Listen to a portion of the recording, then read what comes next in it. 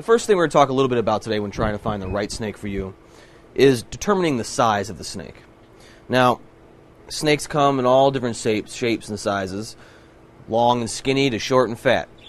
And you need to figure out which is the right size for the type of room or area that you're going to have to be able to provide to the snake. For instance, for a blood python, who's going to reach somewhere around five to six feet, rarely up to nine feet, you need to make sure you have the appropriate space for that. You're looking at a very large enclosure.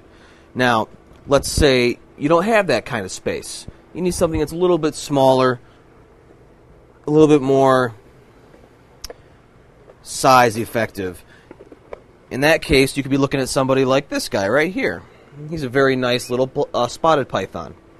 This guy maxes out at about three to four feet. He's almost there.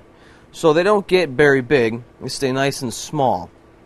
Much more manageable, especially if you have living maybe in an apartment or a uh, small home. You don't have a lot of space, or perhaps there's other things to take into consider as well, like if you have small children in the house or other small pets.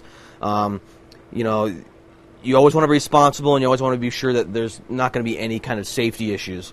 Um, the more responsible you are in that matter, the better off for everybody.